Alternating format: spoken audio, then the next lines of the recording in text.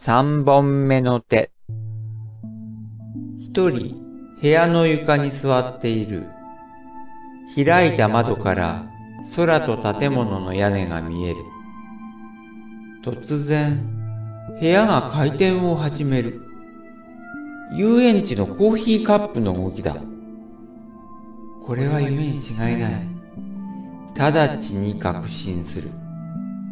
夢にしてはリアルだが、こんなことどう考えても現実に起こるはずがない。どうせ夢なら好きなことしてやろう。ところが、あまりにリアルであるため、状況を変える操作ができない。やがて、勝手に部屋が移動を始めた。遊園地のジェットコースターの動きだ。窓から見える光景が目まぐるしく変わる。都会の長官図、針葉樹林、冬の山岳地帯、野原、夕焼けの赤い海、花火、舞う粉雪、稲妻の嵐、吹き上がる溶岩。そこで目が覚めた。不思議な夢だった。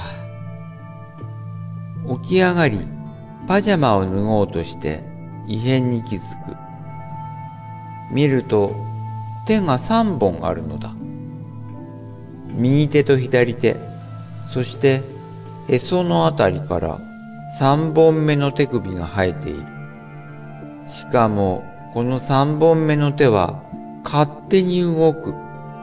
左手と右手で押さえつけようとするが、なかなかうまくいかない。困ってしまった。このままでは誰にも会えない。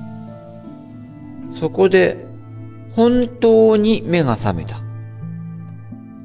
本当に不思議な夢だった。